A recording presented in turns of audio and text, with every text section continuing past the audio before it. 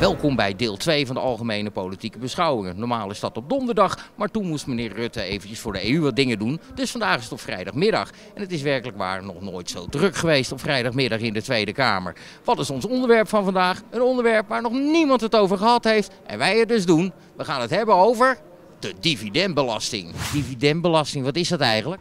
Geen idee. Beren, slecht idee. Onzinnige maatregel. Dat is dat je dus over uh, de winst die je krijgt via dividend, uh, dat, je dat, uh, dat je daar belasting af moet betalen. Als je kijkt wat er in Zwitserland aan de hand is, daar zitten een aantal van de grootste multinationals en daar kennen we een dividendbelasting van 35 procent.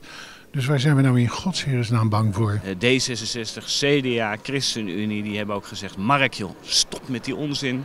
Maar hij wil niet, hij heeft zich helemaal vastgemetseld samen met Unilever en Shell. Dit moet er door. Lukt het nog, dat verdedigen van die dividendbelasting? Ik, ik geef tijdens het debat nooit reacties, maar de afloop ben ik beschikbaar. Ja, maar dat duurt nog heel lang, hè? Ja, ja, ja, ja dat vrees ik dan. Maar eens kijken, ik ben ongeveer op, nou, 2,50. 2,50. 2,50. Maar ik moet zeggen, het gaat u wel aardig af. Nou, dankjewel. Okay, dus succes daarmee, maar ik ben er niet heel blij mee. U weet uh, dat ik zeer gemotiveerd ben om te zorgen dat wij die banen houden. Dus vind ik het ook geen enkel probleem om dat te verdedigen. Alleen niemand die dat uh, kan garanderen de kans is wel heel groot. En vergeet niet de andere kant. Degenen die tegen zijn in de Tweede Kamer gaan ook niet nadenken wat de consequenties zijn als we het niet doen. Maar is er wel goed nagedacht over de consequenties als we het wel doen? Daar vraag ik me af. Het gaat natuurlijk met name om, want het is een terechte vraag, dat als wij in de toekomst in Nederland de banen willen hebben om te zorgen dat we het geld verdienen voor zorg, onderwijs en andere taken, moeten we ook zorgen dat de bedrijven er zijn waar de mensen kunnen werken. En dat doen we hier. En daar ben ik dus gemotiveerd voor, omdat ik weet dat als je nu de keuze niet maakt, je straks ontzettend spijt gaat krijgen. Die hele dividendbelasting, zit dat nou de boel op scherp bij jullie binnen? Nou, daar hebben we toch net uh, de hele ochtend aan. Gaat bij jullie onderling? Oh, onderling? Nee, nee, nee, nee. Onder... Echt niet? Nee, nee, nee, nee, sorry. Nee. Alles maar om dat kabinet bij elkaar te houden? Nee, het is gewoon een uh, goede club mensen die met elkaar bezig zijn een regeerakkoord uit te voeren. En daar doe ik ook uh, zeker mijn best voor en draag ik mijn steentje aan bij. Oh, dat geloof ik direct. Oh, nou, dat vind ik aardig van je, dank je. Maar dit was natuurlijk niet iets wat iemand had zien aankomen. Wat? Als ik het een jaar geleden nu had voorgelegd, dividendbelasting, had hij waarschijnlijk ook gezegd, nou, daar gaan we niet aan beginnen. Uh, dat vind ik een hele interessante vraag, maar dat is op zichzelf helemaal niet meer relevant. We hebben daar net een hele discussie over gehad. Dus geef je er geen antwoord op? Nee, ik ga het niet opnieuw doen. Wat had je gedacht?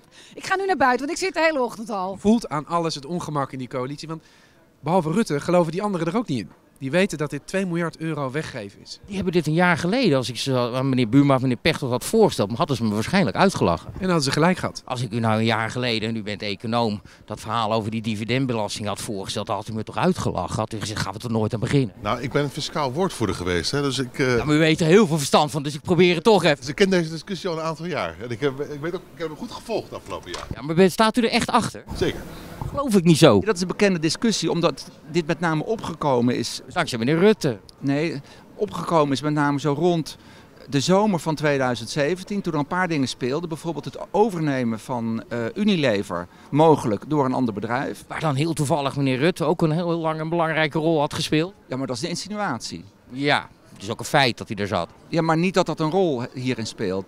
Nee, u, u werkt nu de indruk natuurlijk door uw vraag dat het zo zou zijn. Daar heb ik helemaal zelf niks mee te doen. Het gaat om mijn eigen motivering. Het debat over de dividendbelasting stopt niet vandaag. Dat gaat nog door. Volgende week bij de AFB, daarna bij het belastingplan. En we hebben onze herstelwet nog. Ze denken er vanaf te zijn, maar ze laten de ellende, zijn ze alleen maar aan het rekken. Dus ik wens ze veel succes. Maar als je die 76 mannen hebt, ja, dan kunnen we herstelwet en al. Als, als, als die gewoon meestemmen met de coalitie, ja, dan kun je roepen wat je wil. Ja, maar het moment is er nog niet voor. De druk is nog niet groot genoeg. Nee. Nee, maar dat gaat... is al hommeles hoor binnen die coalitie. Ze lopen te schelden op elkaar en al. Zeker, maar het gaat komen.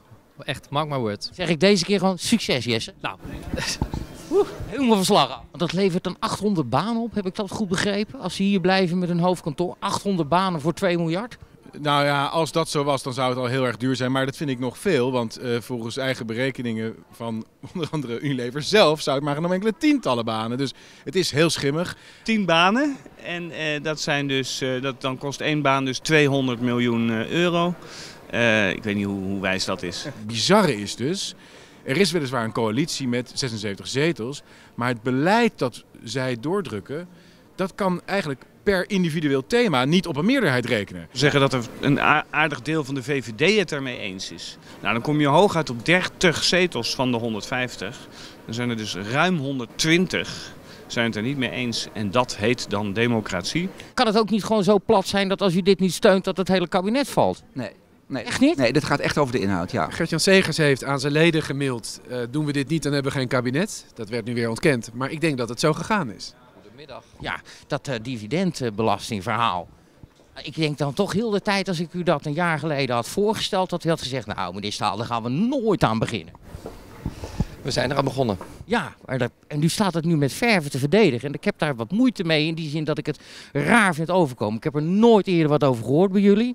Is het weer zo plat dat dit compromissen sluiten is? Ik werk u veel, eh, wens u veel eh, sterkte met de verwerking. Dat is toch geen antwoord op mijn vraag? Nee, maar ik heb ook geen eh, behoefte aan een verder interview.